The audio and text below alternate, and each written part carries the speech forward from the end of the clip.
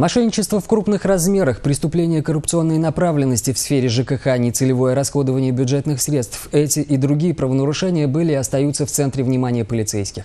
С некоторых пор к этим деяниям прибавились махинации с материнским капиталом и другие приметы времени. О том, как сработали в прошлом году, сотрудники соответствующего управления МВД рассказали журналистам.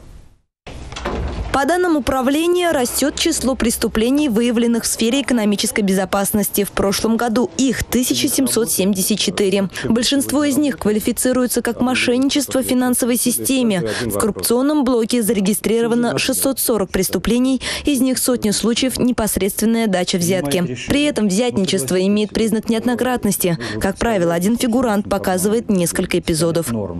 Ущерб составил общий по оконченным делам 1,2 э, миллиарда рублей, который был возмещен на 68%. Эти показатели позволили, у нас сейчас э, наше подразделение э, в Российской Федерации разделено на 6 групп, мы входим в пятую группу, занять нам первое место в нашей группе и занять одну из лидирующих позиций э, в Российской Федерации по линии нашего нашей работы. Афера с материнским капиталом также доставляет полицейским немало хлопот. Как отметил начальник отдела, уличить организации в махинациях не всегда легко. В отношении двух предприятий, построивших бизнес на обналичивание мат-капитала, возбуждены уголовные дела. Сейчас проводится проверка по шести таким организациям. Ведется работа по пресечению проведения азартных игр под видом букмекерских контор, интернет-клубов. Сложность заключается в том, что закрытие игорных объектов и санкции не останавливаются останавливают бизнесменов от создания новых подпольных казино. Видимо, наказание недостаточно жесткое.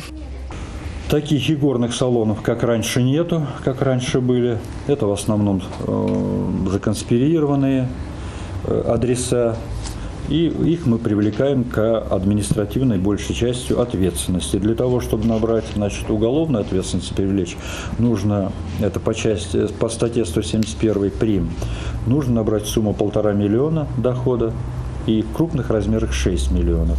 К сожалению, ну, вернее, к радости, наверное, для предпринимателей, что у нас такие проверки яркие разрешены там раз в три года, да, то есть организовываются предприятия через три года к ним могут только прийти с проверкой. И очень многие вот эти вот фирмы-однодневки, которые считают, что вот за три года мы сейчас тут все поработаем активно, а потом тут нас попробуй найти. Да? Чем сложнее закон экономический, да, издаваем нашим государством, тем извращеннее люди, которые пытаются это обойти.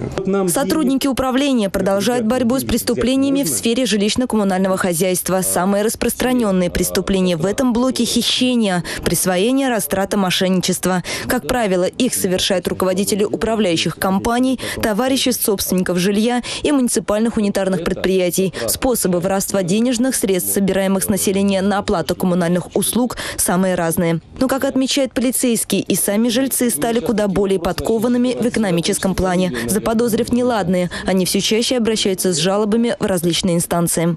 Гнифа Тагирова, Андрей Спиридонов, Республика.